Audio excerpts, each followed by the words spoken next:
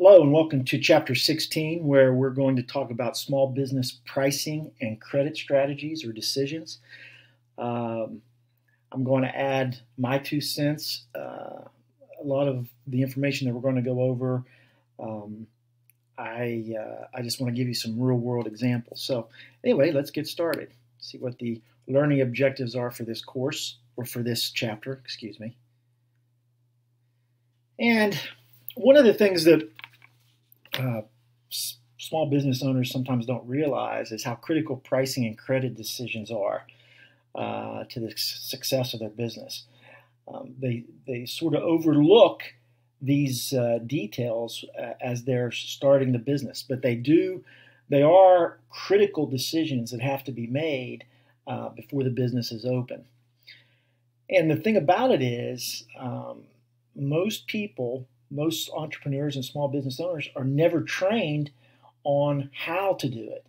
And I really think that the uh, the experience that I had in retail management over the years when I worked as a manager for J.C. Penney's, when I was director of sales and marketing for a, medical equipment uh, chain, and those those uh, experiences helped uh, helped me out tremendously when I opened up my own medical equipment company. Um, when we're pricing, value has to be sort of the center of our uh, thought process. In other words, people are not going to pay any price for our products or services unless they see some type of value in it. So up here I put consumers must perceive value from the products they purchase. Otherwise, they will not buy uh, from you. We all know what price is, and we'll talk about credit as well. Um, so price is important because everything that we sell, obviously, our total revenue comes from volume times the price that we're selling it at. So it's it's very very important to make sure that we sell uh, or we have our products and services priced at the right level. But it's not very easy. It's not easy to understand what price looks good to the customer. So I'll talk a little bit how you I mean it's it's an imperfect science, but I'll talk a little bit about it in a little bit about how you can uh, come as close as possible to setting the right price. Obviously, we have to cover cost when we price our products. Our products are going to cost us something. If we are selling a tangible product that we possibly bought from a wholesaler, we're going to pay a price to that wholesaler. And so we have to cover that cost of that item. But covering the cost of that item is not enough. Um, basically, if we sold everything for what we uh, we bought it at, we're not going to make any money. In fact, we're going to lose money because there are operating expenses involved, lease and uh, leases, salaries, um, utility bills. So we have to be able to recoup our cost of the product, but also we have to be able to uh, recoup some type of uh, amount beyond that cost in order to cover other expenses. And then, of course, we want to make money. So we want to make a profit. Now, I'm not going to go over average pricing uh, in detail, and I won't ask you anything on the quiz about it because, uh, and you can take a look just so you know what it is. But I can tell you right now that small businesses do not use average pricing in order to price their products. Obviously, we want to make sure that we know what the total cost of the product is and the cost that we're incurring. But most small businesses offer a variety of products. And so average pricing is uh, relatively easy to do if we only sold one product or we only had one service. But still, there are some downfalls or pitfalls to the average pricing uh, model. So here's just an, uh, an example of uh, average pricing and the cost structure of a fictional firm. But average pricing overlooks the reality of higher average cost at lower sales levels. So the, the problem with average pricing is we don't know how much we're going to sell. So not knowing what the sales volume is sort of throws everything out of whack with average pricing. And so I'm going to tell you right now in the real world, small business owners and entrepreneurs don't use average pricing. Here's another example. One thing, though, I would want you to get out of this, though, is pricing at less than total cost uh, can be used as a short term strategy to increase demand. So when we put what we call loss leaders uh, up for sale, sometimes we will sell something that doesn't cover cost just to bring people into our establishment or into our website to browse and hopefully stimulate sales of other products. You'll see it sometimes, uh, not very often, but you will see that strategy used.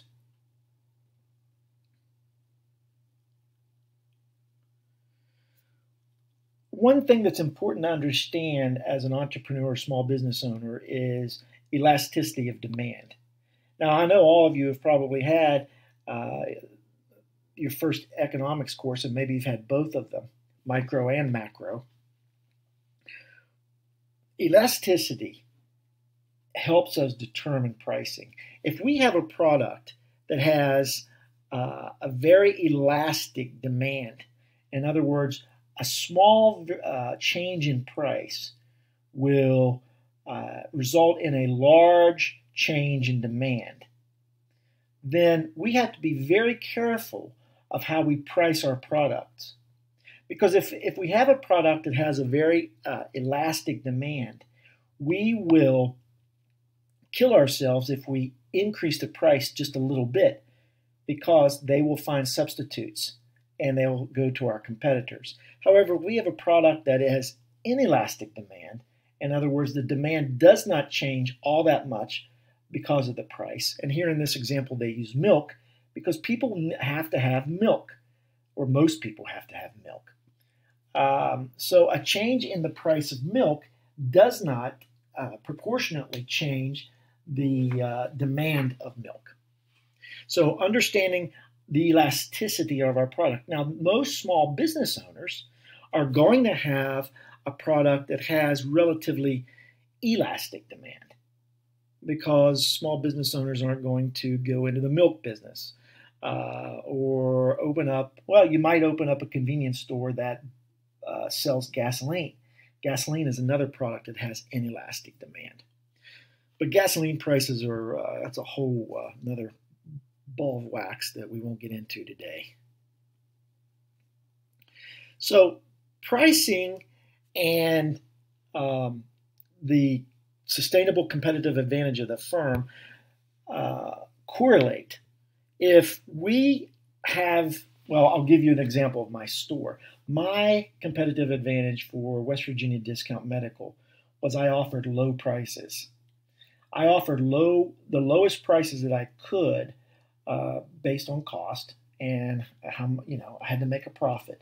But my prices were my competitive advantage. Now, some uh, firms may use another tactic called prestige pricing. Prestige pricing is used when customers correlate high quality with the price. So, a Rolex watch, a Mercedes Benz, a Jaguar, a BMW. People associate those names with a higher price, but they also associate those names with higher quality. So there's demand there. So prestige pricing, uh, when you're using, uh, when you have a product that uses prestige pricing, a lot of times lowering the price will hurt your uh, sales because people will think, well, why is this Mercedes on sale for $19,999? This brand new Mercedes. There must be something wrong with it. So this prestige pricing, um, it varies from market to market, from product to product, but uh, people do associate um, quality with higher priced, with prestige priced products. Um, understanding your products, understanding all everything that you have to cover as far as operating expenses. So knowing knowing where everything going. And this goes back to one of the earlier chapters when we talked about the income statement and knowing what operating expenses are versus startup cost and understanding what our our costs are on a monthly basis, we have to know that when we're pricing our products.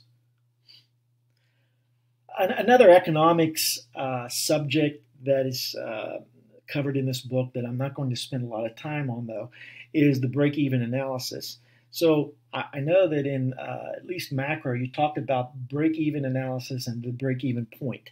So the break even point basically is where at a certain sales volume, sales revenue equals total cost and expenses. So the firm actually covers all of its expenses and has a zero profit.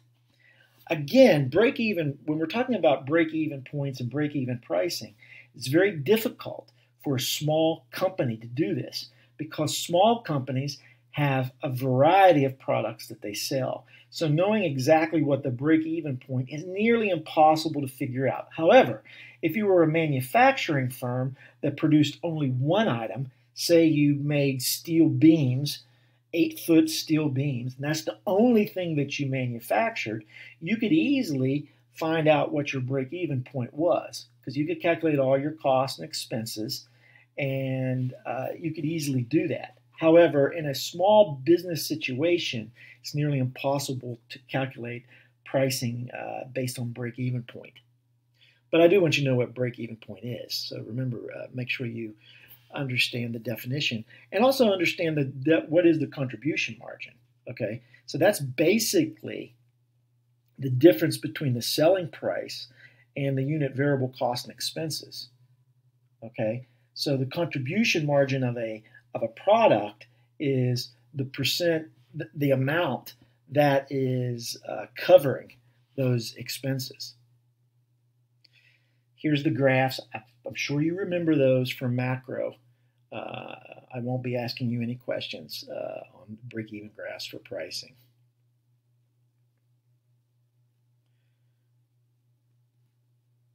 Markup pricing. Now, markup pricing is a little bit more real world. This is probably, I'm going to say generally, this is the most common uh, strategy for pricing products, putting a markup on it. And I'm going to, uh, here in a few slides, I'm going to give you some a real world explanation of, uh, of what or how uh, markup pricing is used. But Markup pricing can be expressed as a percentage of the selling price, or it can be uh, expressed as a percentage of cost. And usually, when you're when you're first uh, looking at markup, you'll you'll use the cost version because uh, you know what that cost is. You don't exactly know what your uh, what your uh, final price is going to be. But you, you do want to make sure that you know your markup rate helps cover operating expenses and gives you the desired level of profit. But again, it's very difficult when you're selling, for instance, my company, had thousands of products. It would have been virtually impossible to figure out what one single product, how what even what the contribution margin was going to be. It just would have been nearly impossible. So there's different strategies that we'll talk about. We'll talk about penetration pricing where we where we go into the market with a very low price in hopes in, in hopes to increase market share. Price skimming is when we go into the market um, that is virtually new, and we can we can charge a higher price. So when a new technology comes out, it's usually priced at a higher price. We can skim the top and recoup a lot of profit, uh, recoup our cost, and make a lot of profit by price skimming. Follow the leader pricing variable pricing, price lining, and other uh, options that are out there. So penetration pricing, I just told you about, uh, where we uh, we try to increase our market share by going into the try to penetrate the market with a lower price. Price skimming, when you go into a uh, relatively limited period of time at a very high price, maybe it's very new, very different, uh, or maybe it's a totally new market. Follow the leader strategy. Variable pricing is where we charge different prices for a product based maybe on quantity. So if you know if you buy one of these, this is the price. If you buy ten, this is the price. Um, so it, it, one product has different prices at different levels. And you can see the different other, some of the other different pricing strategies. Making sure that when we are pricing that we're not breaking any federal laws, federal or local laws uh, regarding pricing. Okay, so according to Jim, uh, myself, here are how most small businesses price their products. First, they consider at least 100% markup on cost. Okay, so if something costs us $20, 100% markup would mean we're going to charge $40. So we, we, we sort of use that as a starting point. Okay, most small businesses will use that as a starting point. Say, okay, I'll, I'll double the, my price. You know, if I have this $20 item, I want to get $40 out of it.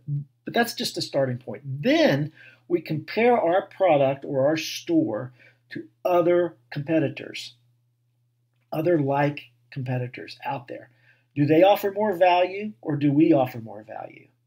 So if our competitors have this product at $40, but our product is maybe a little bit better, higher quality, we might go above 40. However, if our competitors have that similar product at $40 and we don't offer as much value, maybe they offer free delivery, maybe their product is a little bit higher quality, then we probably price that product below that $40 mark. So we compare our competitors. And then finally, knowing that you must have a profit, you select a price that you feel confident is going to stimulate demand. In other words, would I buy this product? And you have to be very objective. But would I, brought, would I buy this product from my store it set at this price. Why wouldn't I go to another, another location or a competitor? Okay, so a lot of it is just gut, and you have to. Uh, so what? You have to know your competitors, you have to know the market, and you have to know the customer. If you don't know those three things, you're going to be pricing on a whim, and it's going to be very difficult to to get a price that's going to work.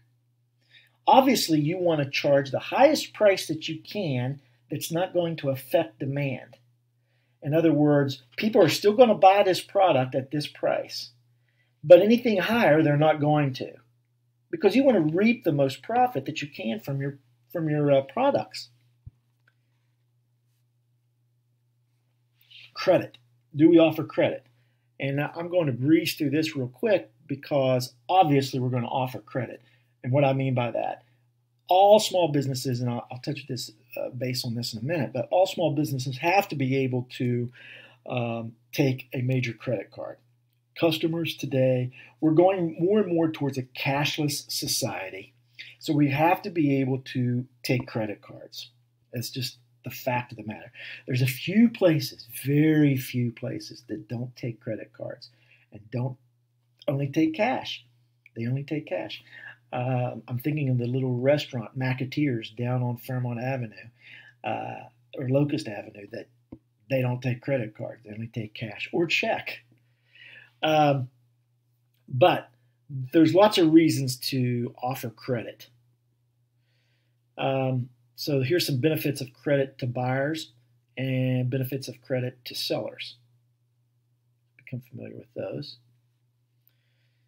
So there's some factors that affect selling on credit the type of business, your policies, the competitors, um, customers' ages and income levels. I'm, I'm still telling you, don't worry too much about that because we're really only dealing with 90% of the credit that we're dealing with is going to be major credit cards. So we don't have to worry about that because the customer already has the card. And we're, if, if they use it and it gets approved through our credit card machine, we get paid. Okay, so we don't have to worry about their age and income levels too much. There's consumer credit, which if we granted credit to uh, our customers, and trade credit. Now, some stores have their own credit card. Most small businesses are not. Okay, if you go to Home Depot, you might have a Home Depot credit card, or J.C. You might have a J.C. Penney credit card. Lowe's, a Lowe's credit card most small businesses are not going to have consumer credit, but they will take major credit cards.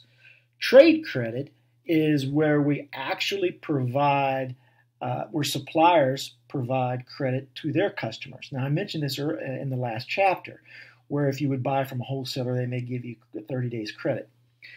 I'm going to give you an example of where a small business might do that as well. Here's the different types of consumer credit. And again, the major bank credit card is what small businesses are going to be dealing with.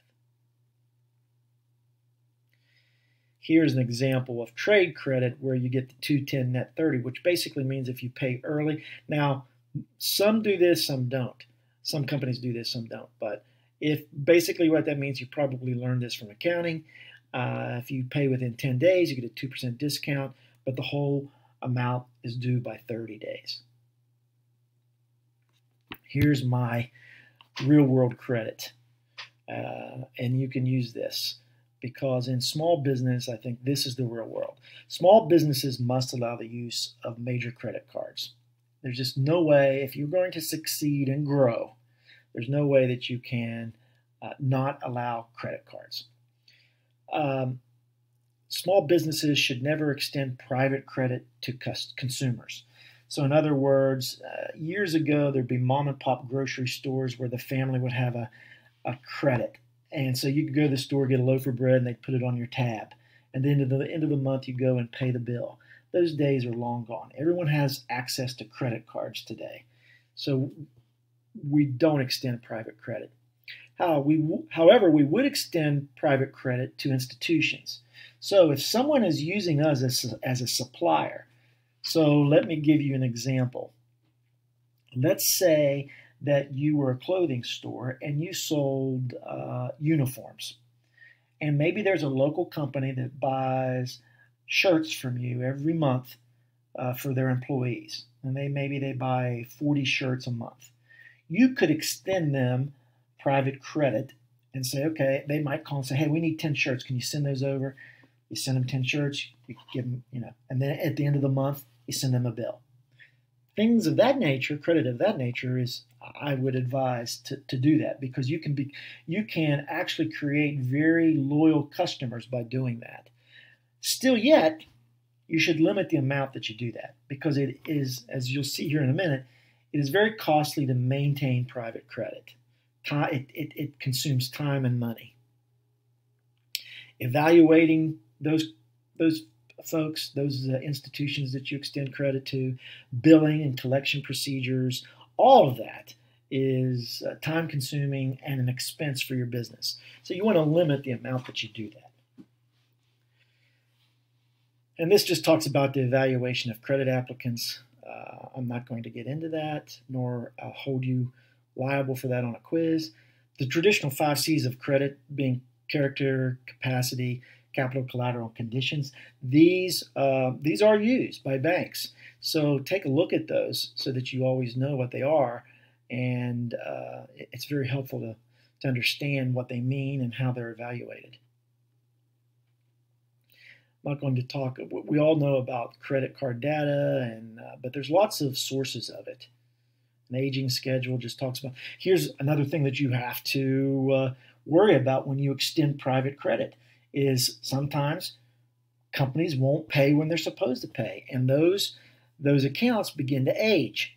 So if we have, you know, if we've got customer one that uh, owes us fifteen fifty thousand dollars, and um, it's only been 15 days, then that's probably all right. We're probably going to get that money. But if you take a look at a customer that owes $50,000 over 120 days, you may not get that money, or you only get a portion of it because after as time goes on, and it's uh, less and less likely that you're going to be able to collect that those monies for your accounts receivable. So uh, you have to keep track of that. You have to bill them and remind them to pay. So that's another reason why extending credit, depending on your products and services, extending private credit is is very tricky. So you want to be careful of that. I'm not going to talk about billing and collection procedures. That's not uh, any of our concern. There are credit regulations uh, and certain laws that you have to adhere to. And there's your key terms. So I hope you understand that pricing is very important. There's lots of different strategies to go by. And uh, as a private small business owner, you're going to have to deal with credit, either through major credit cards or through some private credit that you might extend to uh, loyal uh, customer, uh, institutional type customers. Hope you're staying safe, and we have one more chapter to go before the end. So, congratulations, you're nearing the end.